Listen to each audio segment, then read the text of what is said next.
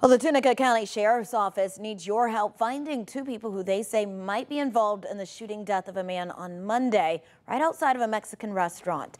TCSO says they want to question both 26-year-old Robert Domane Fleming Jr. and 34-year-old Jasean Fly French. Anyone with information on where they might be is asked to call Tunica County Crime Stoppers. That number is 90 or 662 910 0400. Again, that's at the bottom of your screen at 662 910 0400.